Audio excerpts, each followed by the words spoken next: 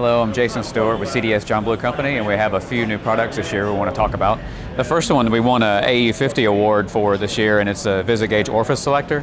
So it's a self-contained orifice system that has uh, that you don't you can go and uh, all your orifice changes are all ganged together on top of the VisiGauges, and uh, there's no more walking between each row and, and, changing out individual discs. You just you have four uh, positions you can select between. Um, to, to choose from for, for which uh, gallons breaker you're going to do. And we also, we give you two plates, so it, there's like a low and a high range. So the low covers pretty much all planer applications and the high range covers applicators. And uh, we have uh, an app to help you choose which, uh, which plates you want to use. And also in the user manual, we also have a chart. You can have a hard copy.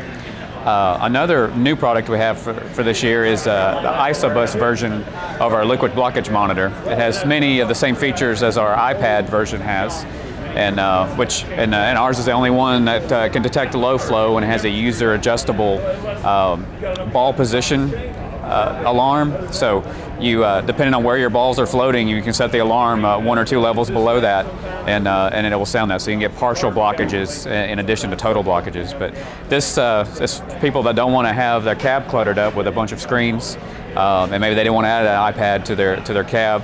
Uh, this can go and it'll display on their virtual terminal and it'll sound the alarm from the background when they're when they're in another screen.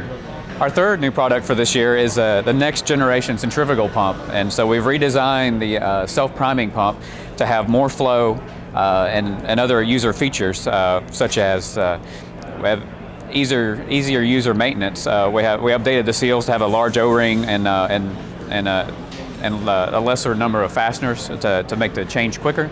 Uh, we still have the same uh, double uh, wet seal uh, technology to, for when users run their tank dry, it won't destroy the seal.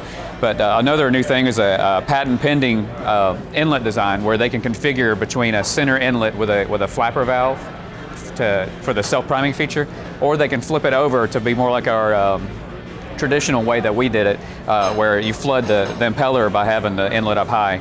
And so uh, there are various reasons why you might do that. If you when you have it up high, all the, the fluid that you have pumped up into the uh, outlet line can drain back through there and you don't have the, the outlet line full of fluid. Um, or you can do it the other way and get the higher flow by having the, the, the center inlet. But we're going up to 400 GPM now uh, on when you're using a 13 or a 15, 13 horse gas or a 15 horse electric uh, on our SP pump. And uh, you can also have a 10 horse uh, pump and with a lower lower max capacity. But uh, 400 GPM is what we're up to on this now.